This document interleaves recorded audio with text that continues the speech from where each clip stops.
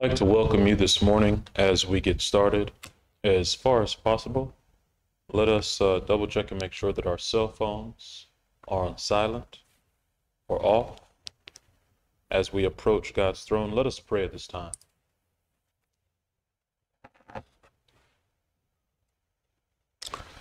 Loving Father, we thank you for the privilege that we have to worship and to serve you. And as we worship on your holy day, we are asking for the endowment of thy Holy Spirit, that the teacher, the teacher, the truth educator, the, the comforter would be in our midst, that we would be educated from heaven, and that spiritual things may be understood, that we would surrender to thee in every aspect of our lives. Please, may we see Jesus today. In Christ's name, we ask these blessings. Amen. I invite you to turn with me in your Bibles to the book of Amos. We're turning to Amos chapter 8. For those of you that joined us last Sabbath, we're building upon the foundation that was laid in last Sabbath sermon, there where we spoke on the East Palestine train derailment, and we saw how that current event got a dark day. How at East Palestine, the sky was black. And we know that we have an approaching dark day based on Bible prophecy. Also, it was stated in the news or in the news articles that we saw that it, was a it was a perfect storm. And we know that we have a storm that is approaching that the Bible has likened the Sunday law or the mark of the beast to a storm. We've seen that in previous studies we were discussing the correlations between the dark day and the East Palestine current event. Also, death was the result of, or, or, death was the result of the East Palestine accident. And we're also going to see death be the result of the dark day. And why would God allow all these calamities to happen when the mark of the beast is in force, which we know the mark of the beast to be a national Sunday law in America. Why would God allow that? It is God speaking volumes to his disdain for Sunday, which is a counterfeit of the true Sabbath, which he has ordained to be on the seventh day of the week, which we often refer to as Saturday. Why would God allow all this? Again, showing and proving his disdain for a day that is a counterfeit. It's not God's true, holy day. What will happen? The day will go dark at noon, showing that the light of his word has gone out for many. Tsunami in Tampa Bay, Florida. Again, we've given the warning that those who reside on the west coast of Florida in Tampa Bay need to move. Death, there will be many that die on the dark day.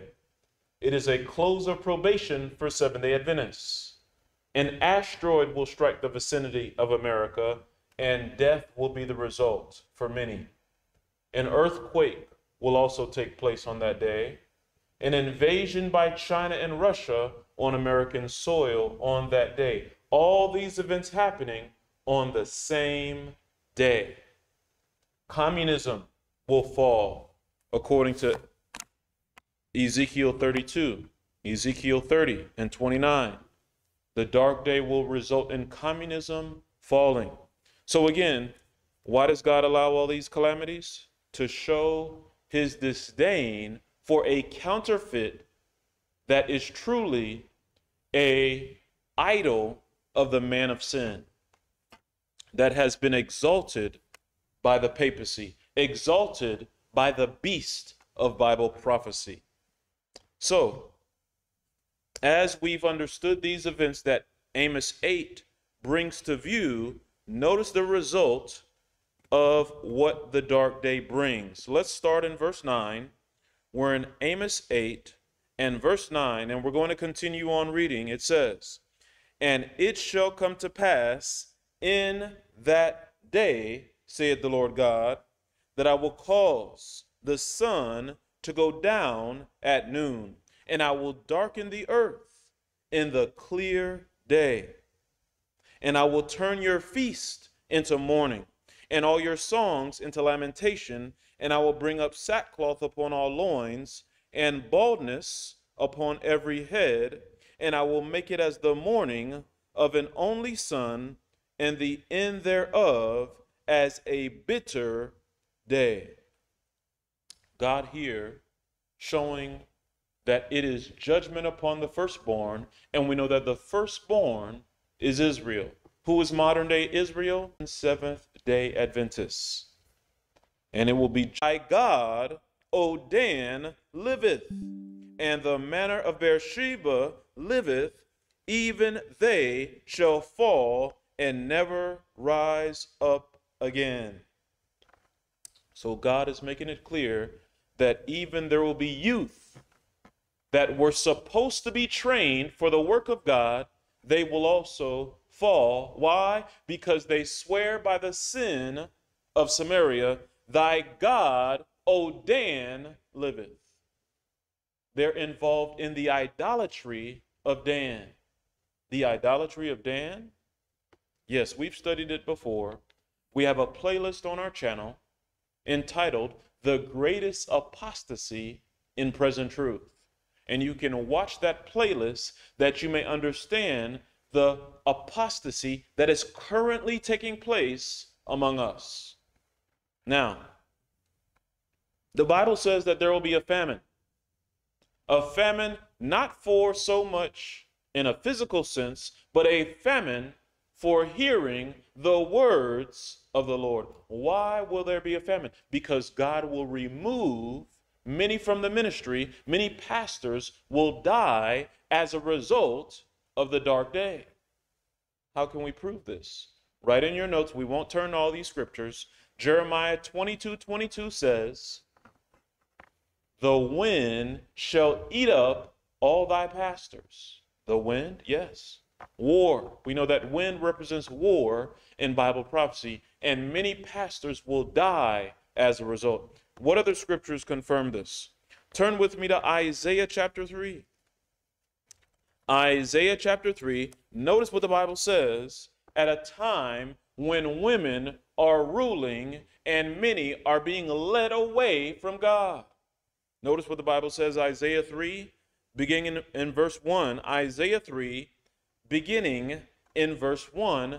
Notice what the Bible says concerning God bringing a famine, meaning no bread, no water, spiritually in the church. People are coming to church, but not being fed. Why? Because God has removed the pastors, removed the shepherds, removed the church leaders by death. Notice what the Bible says Isaiah 3 and verse 1 it says, For behold, the Lord, the Lord of hosts, doth take away from Jerusalem and from Judah the stay and the staff, the whole stay of bread and the whole stay of water. So God has removed the bread. Why is there no word? What is the bread? Man shall not live by bread alone, but by every word that proceedeth out of the mouth of God. God is using the natural to teach the spiritual. Then it goes on to say, the mighty man and the man of war. Who is to fight the battles of the Lord? Is it not the preacher? Is it not the pastor? Is it not the elder? Is it not the apostle? The prophet? Is it not? They are to fight the battles of the Lord when champions are few, but yet they are silent to sin that is taking place among us, whether in the general conference or whether in self supporting work, they are silent to the sin. It says in verse 2 the mighty man, the man of war, the judge, and the prophet, and the prudent, and the ancient, the captain of fifty, and the honorable man, and the counselor, and the cunning artificer, and the eloquent orator. Great speeches they give. Verse 4 And I will give children to be their princes, and babes shall rule over them. So who will be ruling? Young people, young Christians, young individuals in the faith. Why? Because they were not faithful in the office like Eli, like Hophni, like Phinehas in 1 Samuel, the first four chapters, you see God allows death in the ministry, then raises up this young man, Samuel. Why? Why would God do such a thing?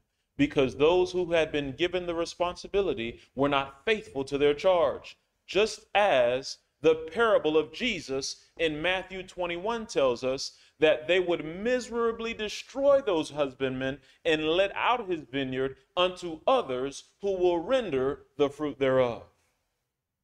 Jesus prophesied of the death that is coming to the ministry even as we consider the parable of the vineyard in Matthew 21. Notice what else it goes on to say concerning the youth leading out.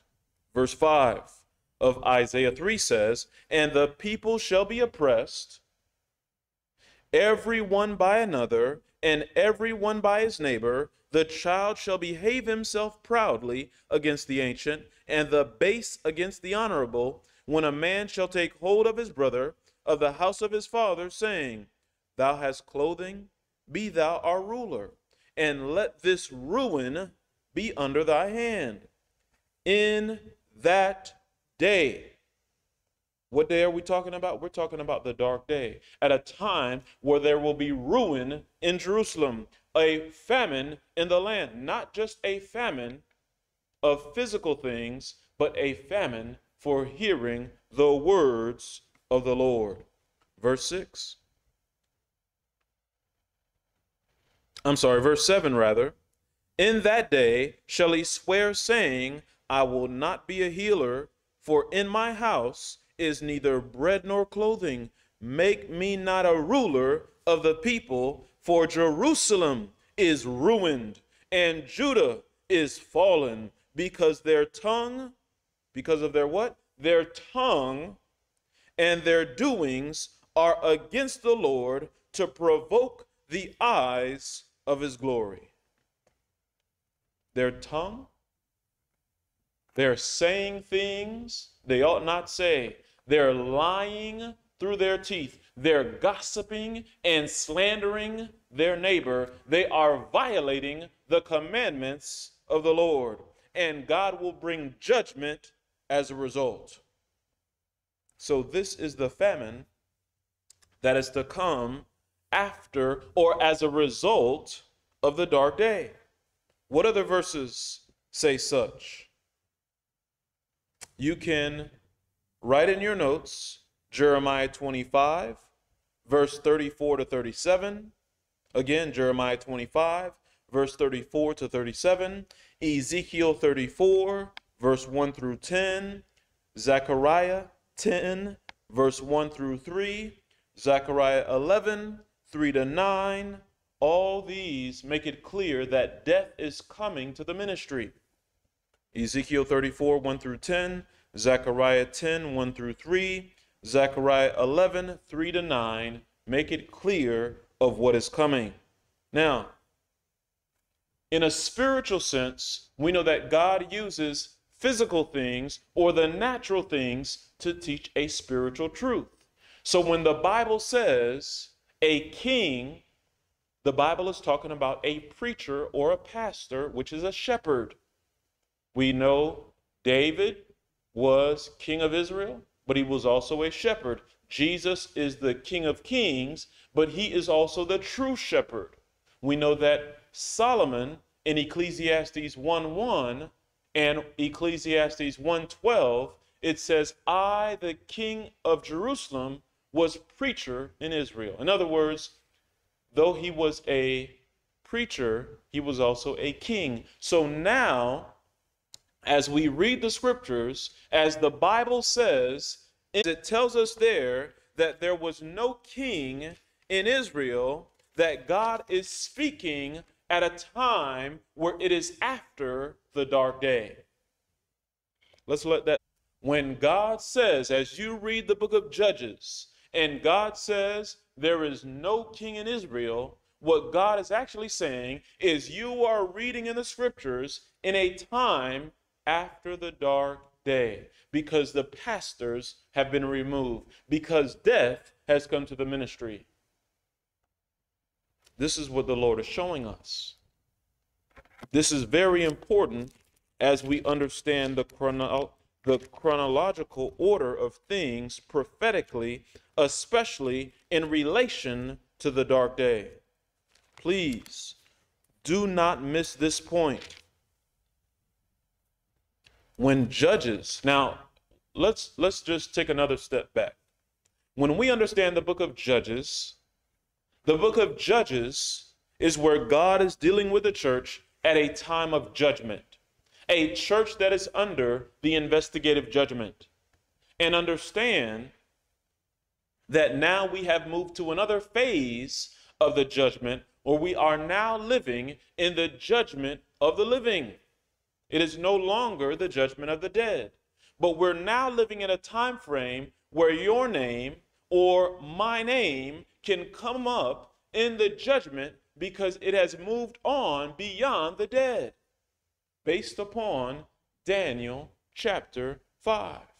We know that when Donald Trump held the, uh, the feast or the state dinner in the White House for 100 evangelicals, that it was a fulfillment of Daniel chapter 5, where Nebuchadnezzar held a feast for his wives and his concubines. Well, what is a woman in Bible prophecy? A woman represents the church. 2 Corinthians 11 and verse 2, Isaiah 54, verse 5 and 6, Jeremiah 6 and verse 2, coupled with Isaiah 51, 16, the Bible is clear that a woman represents a church in Bible prophecy. Therefore, when Nebuchadnezzar held a feast for his wives and his concubines, it was a state leader holding a state dinner for the church, as Donald Trump did in August of 2018. So, as of 2018 of August, we have known that we are in the judgment of the living, yet we are not saying that it began August 2018 because the Bible does not give us a starting point for the judgment of the living.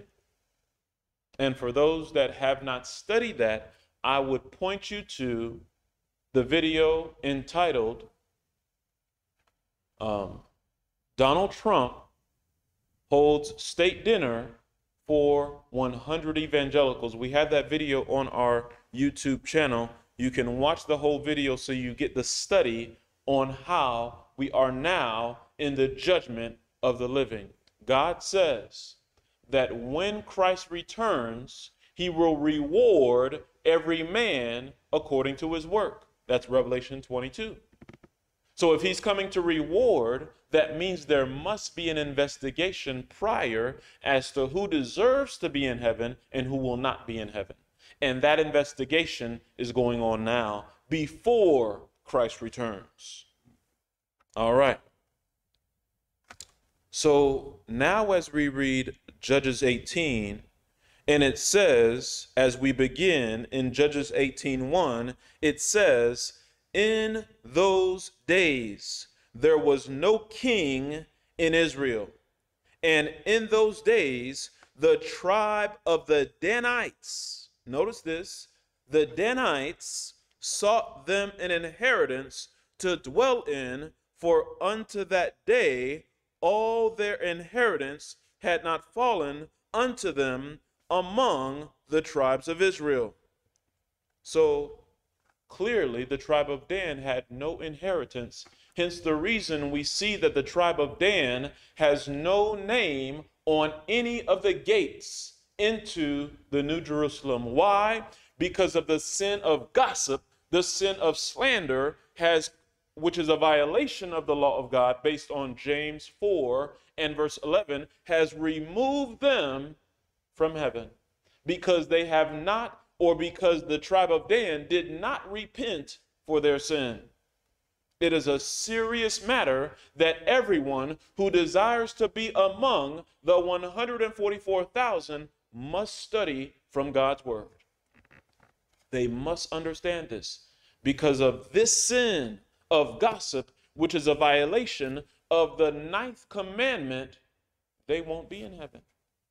Be careful of speaking about individuals behind their back and slandering their character when we are to love our neighbor as ourselves, therefore, meaning you are to protect the reputation of your brother, of your sister, whether physically or spiritually, because your spiritual blood brother or your spiritual brother and sister in the church are your family. You are to love them as you love yourself. Therefore, you are to protect their reputation. So, the tribe of Dan has no inheritance, the Bible tells us, right? And there was no king in Israel, the Bible says. Well, notice how the tribe of Dan is involved in idolatry, even the idols of opinions. Notice what it says Judges 18, Judges 18, same chapter, skip down to verse 29. Judges 18 and verse 29 says, And they called the name of the city Dan, after the name of Dan, their father, who was born unto Israel, howbeit the name of the city was Laish at the first. And the children of Dan set up the graven image. Set up what? A graven image, even an image of a beast. How? Because the character that the Danites develop, not in the past, but even currently in the church, by slandering, by biting somebody on their back, by backbiting, not literally, but spiritually, through gossip, by acting like an animal, you're devouring your neighbor like the animals that roar in the jungle and in the forest to devour one another physically. In other words, just as there are beasts in the field that devour one another, that bite each other on the back, you have individuals in the ministry, in the church, devouring and biting their fellow man on the back by the use of the tongue, by slander, by talebearing, by gossip, and God doesn't think light of it. Therefore, there is a prophecy about Dan in the scriptures for these last days. And that prophecy is being fulfilled. So, this graven image is an image of a beast. Where what is the image of the beast? It is the union of churches or the union of ministries that unite to oppose one church, one ministry in violation of God's law. Just as the leading churches of our nation will unite to oppose one church, currently we are witnessing the tribe of Dan, a union of ministries that unite in violation of God's word to oppose one ministry. Again, the playlist on our channel entitled The Greatest Apostasy Within Present Truth. That playlist is on our channel. If you have not studied this out concerning Dan, I strongly encourage you to do so, that you may not be among those who will not be sealed among the 144,000 because the tribe of Dan won't make it to heaven as a result of this sin that we are discussing here regarding backbiting, regarding gossip and slander and talebearing. Now, as we consider verse 30, let's reread what it says. It says, The children of Dan set up the graven image. What? The image of a beast in character And Jonathan, the son of Gershom, the son of Manasseh, he and his sons were priests to the tribe of Dan until the day of the captivity of the land. Don't we have a day of captivity coming? Absolutely. Where we will see captives of war once China and Russia invade America.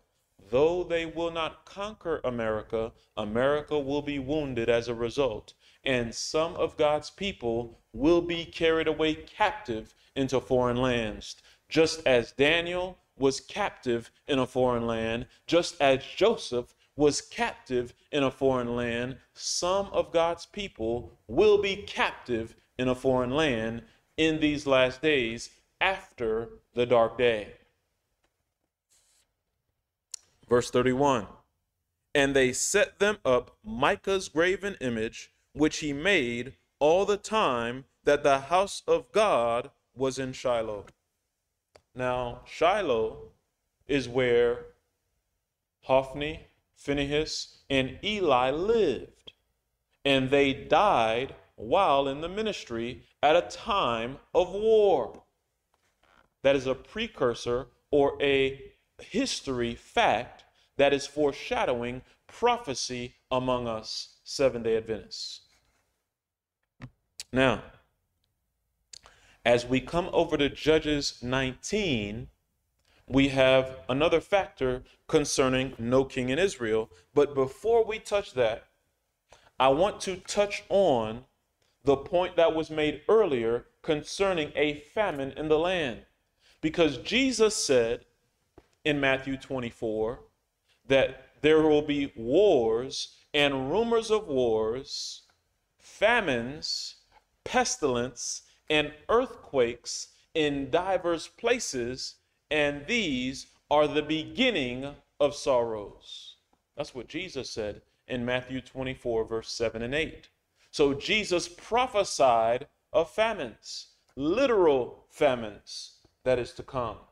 And I want you to see that we have a famine in the east, which is to precede a famine in the west. What do I mean by east and west? Eastern hemisphere over in Europe, Africa, Asia, Western hemisphere, America.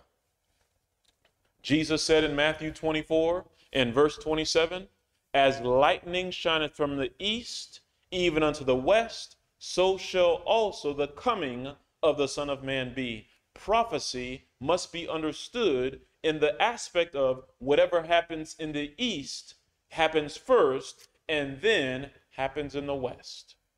Notice here what it says in the current event. It says, more than 5 million people will be closed to famine as Pakistan economy verges collapse, UN says. How many people close to famine in Pakistan? 5 million people. Pay attention to what happens in the East. Notice another article. In the East, North Korea to expand state control of farming amid worsening food shortage. South Korea suggests North Korea short 20% of its normal yearly grain supply. Brothers and sisters, food shortages are coming. Let us prepare, not just spiritually, though that is the most important preparation, we must also prepare practically. Time to can some food. Notice here another article. North Korea's food shortage is about to take a deadly turn for the worse, experts say. This is an article from yesterday. The previous one was from Thursday.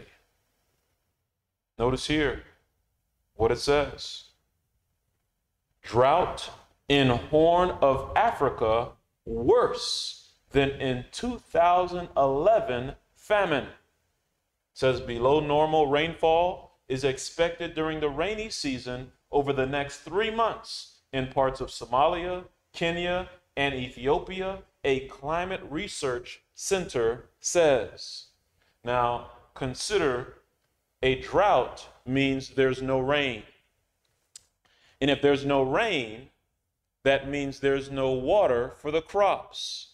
And if there's no water for the crops, that means the crops will either die or they will not be able to germinate. Therefore, there's no food supply, causing food shortages as a result. So, drought and famine go hand in hand. Do not negate this point. Very important because there is parts of America that are suffering from drought currently. We'll get into that in a moment, but still focused on the East. Notice what it says. The Guardian, another article here, this one released today. Today is March the 4th, 2023. It says, very precarious.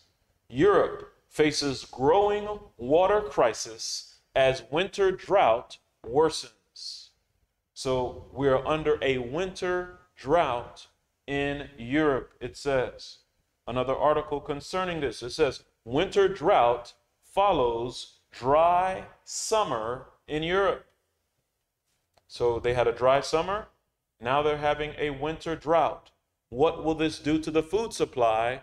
It will negatively impact the food supply and will bring about food shortages. That means you, thinking ahead, should prepare for the coming food shortages. That means you should put some food away, put some canned goods away for when the shelves are empty as we as we witnessed during the pandemic.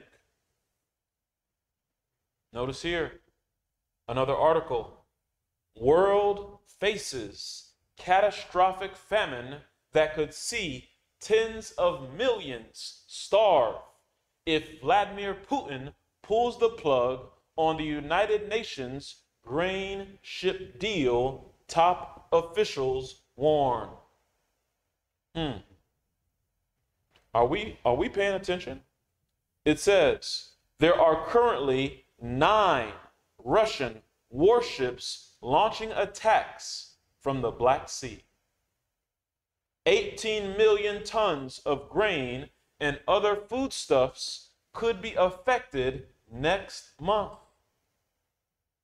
Brothers and sisters, let us prepare now before the crisis. You don't wait for the crisis to prepare, you prepare before the crisis comes. Another article in the East Argentine firms warn of 20 billion hit as drought, frost hits crops. Are we seeing the picture here of the dried sunflowers? Turn down from the sun, not facing the sun. Why? A lack of water. Likewise, a lack of the Holy Spirit in your Christian walk will cause the door to be shut on you as the foolish virgins had the door shut on them. Another article Food shortages see surge in home growing, say suppliers. So, what should we try to do? Grow our own food. Why not? Even if you're growing in individual pots and you don't have a plot of land, do what you can, brothers and sisters. Do what you can. Another article here now on America. This is the state of Texas. The governor of Texas is Greg Abbott. It says Governor Abbott renews drought disaster declaration in March 2023. So, what's going on in Texas? They are under a drought, a declaration of emergency as a result of the drought. Here, another. Here in California, San Diego County, drought falls to abnormally dry levels. It says, according to the U.S. Drought Monitor, the county went from moderate drought conditions. Brothers and sisters, I hope you are paying attention. Showing again what is soon to take place concerning a famine in the land. Not just a spiritual famine, but even a physical one. Now, when we consider a drought, again, no water means no crops. In the days of Elijah, there was a drought. Consider that. In the days of Elijah, there was a drought. And God has promised to send Elijah in these last days. Something to consider. Also, it's important to note that God has given us the ability, or some of us the ability, to prepare for such a drought or prepare for such a um, a time that as you collect rainwater, this is another means as you collect water that at a time where there's no rain, what you've been able to collect during the rain, now you're able to supply for the lack or supply for your crops or for your family for usage, whether bathing or washing. It is a necessity of life that we have water. So please, hey, if you have to store up bottles of water, do so. Not if you have to. I strongly suggest that you store up bottles of water. Let us be wise as we approach what is ahead. Now, we're in Judges 19. We're in Judges 19. And in the book of Judges, we find that the sins of God's people during the judgment hour are brought out repeatedly. Notice what Judges 19 says. Verse 1 And it came to pass in those days when there was no king in Israel that there was a certain Levite sojourning on the side of Mount Ephraim who took to him a concubine out of Bethlehem, Judah. Let's pause. So, again, this is a time where there is no king in Israel. But yet, this young Levite had taken a concubine. And as you read the chapter, you find that they go on to travel and they're traveling together. And this Levite is making the same mistake that Samson made. What's, what mistake did Samson make? Samson, by hanging out with Delilah, gave an appearance of evil. Let me explain. Samson was not married to Delilah.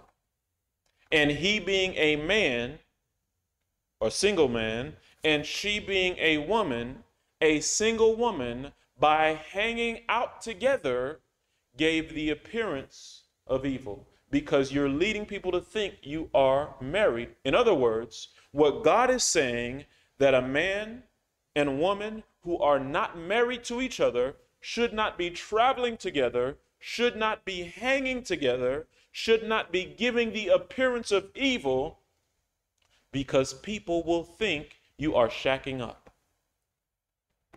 People will think you are sleeping together. And you cause your good to be evil spoken of by your lack of discernment, by the two hanging together, though you're not married. And this sin is committed by many young people.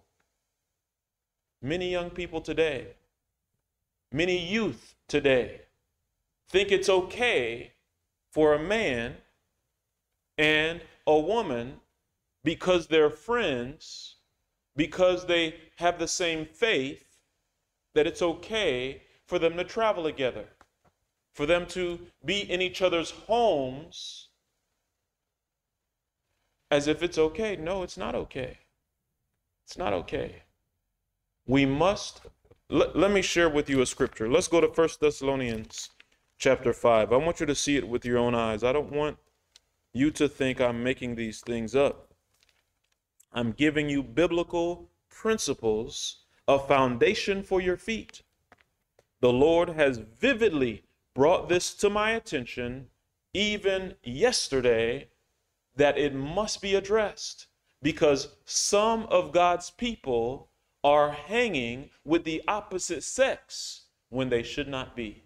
They are studying with someone of the opposite sex when they should not be, unless there is a third party during the course of the study. If there's a third party, then that's different. But a man studying with a woman one on one should not be taking place. There needs to be a third party there. The Bible says in 1 Thessalonians chapter 5 in verse 22, 1 Thessalonians 5 and verse 22, the Bible says, abstain from all appearance of evil. How many appearance? Of all appearance of evil, the Bible says. Not some, but all.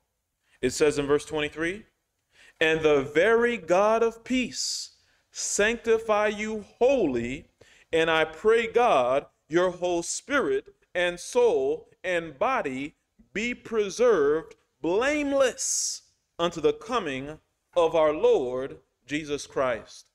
God wants you to be sanctified as we prepare for the second coming of Jesus. And you cannot be sanctified if you are traveling alone with someone of the opposite sex for because you guys are together for long periods of time. No. God would not have his son and his daughter traveling alone together.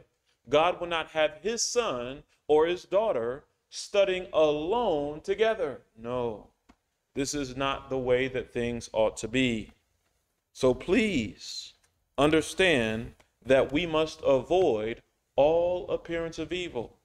As you're going into the home of that someone of that's of the opposite sex alone for long periods of time, you're leading others in your neighborhood to think you guys are engaging in other activity.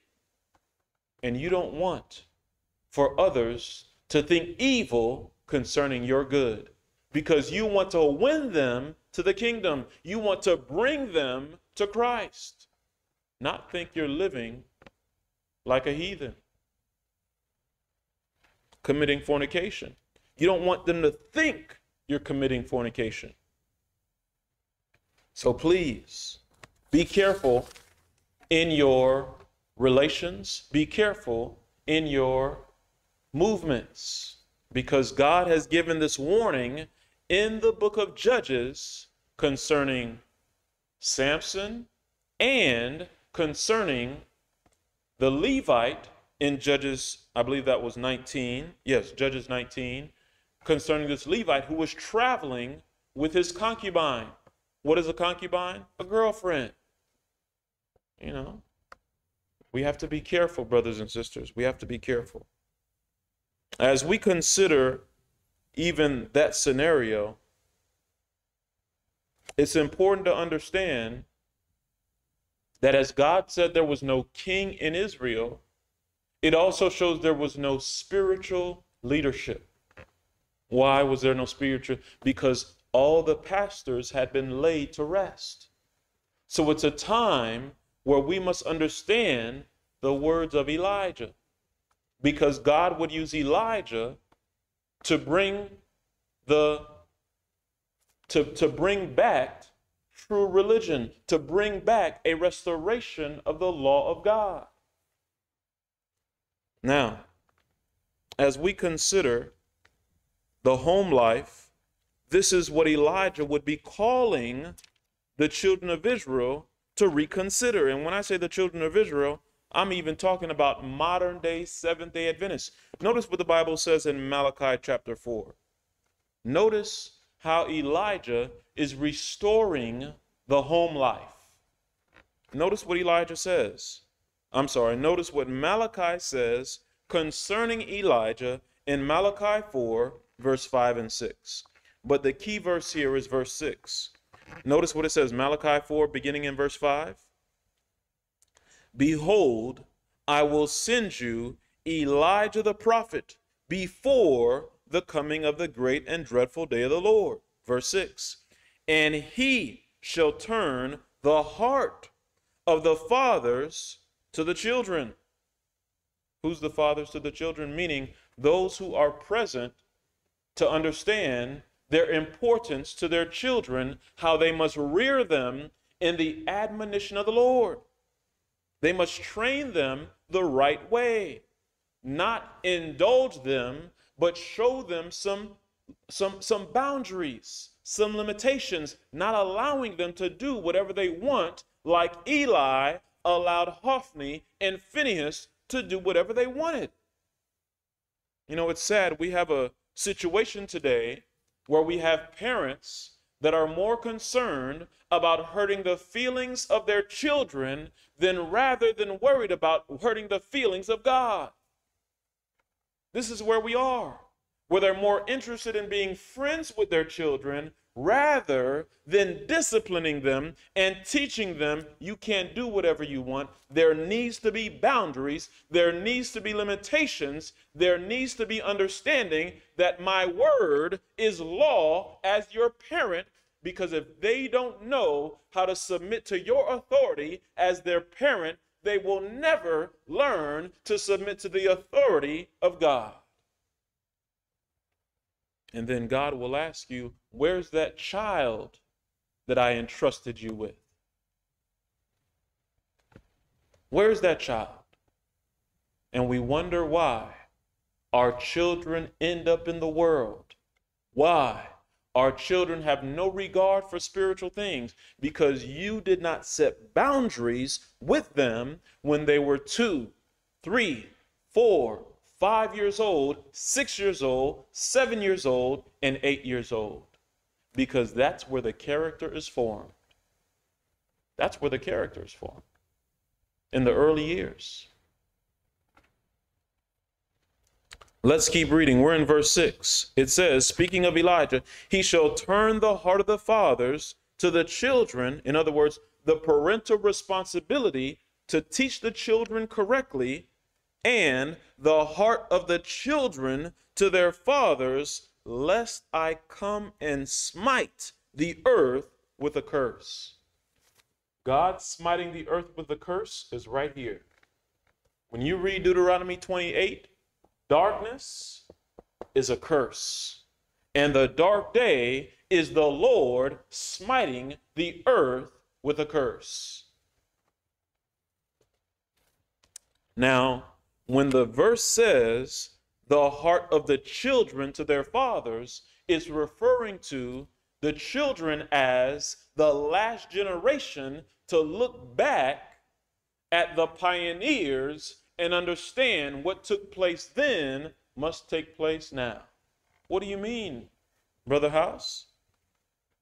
When we study the midnight cry, there were predictions that were made concerning time. And yet that history would be repeated, though God would be giving light as he gave to, to um, William Miller, he would also be giving light during the time of the loud cry. Whatever happened during the midnight cry must also happen during the loud cry. God gave light on the sanctuary, God gave light on war, God gave light on prophecy, and likewise, God would give light during the loud cry on the sanctuary, investigative judgment. God would give light on prophecy. God would give light on war.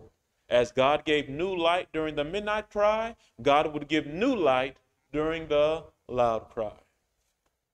Now, brothers and sisters, as we close, let us humble ourselves before God and submit to his ways because God says, My ways are not your ways, my thoughts are not your thoughts. As high as the heavens are above the earth, so are my ways higher than your ways. That's Isaiah 55. Please understand, brothers and sisters, that we have to do things God's way. We must surrender to do what God wants.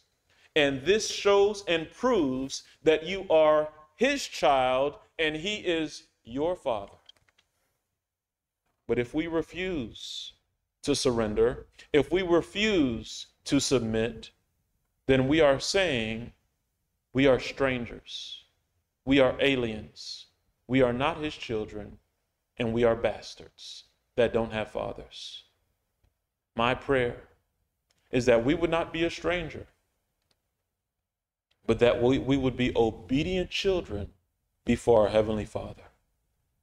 Let us not follow apostasy because now we have pastors that are not just gossiping, but are in covenant relationships that have discarded their wife and now have a girlfriend as they travel from Australia to UK to Oregon and various locations, giving the appearance of evil, which is a false one, a false appearance of truth by their example.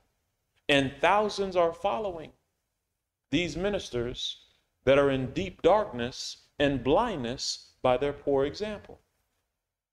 My prayer is that we will not follow such men, that we will not follow apostasy, but that we would follow the truth. Do you love the truth? Because if you don't love the truth, God will send you a strong delusion that you will believe a lie. Let us ask God to give us a love for the truth. And no matter what guise that truth may come, that we will follow it. That we won't follow, we won't worry about comparing ourselves amongst ourselves, looking at what this pastor is doing or what that pastor is doing and, and trying to say, well, because they're doing it, it's okay. No. You will have to answer for your sins before God, just as they will have to answer for their sins before God. Don't be deceived. Please surrender before it is too late. Will you surrender today? Will you surrender to Jesus today? Will you give him your whole heart? Let us pray. Heavenly Father, we thank you for your word. We thank you for the truth. Now, please prepare us for the famine that is approaching. Help us to do your will in all things. Please be with our brethren that are under the category of Dan, that are backbiting.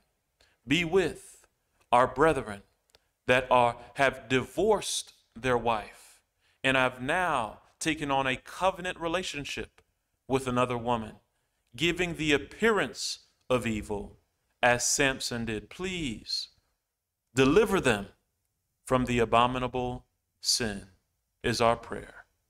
And help us to overcome in everything before probation closes. In Jesus' name, we ask these blessings. Amen.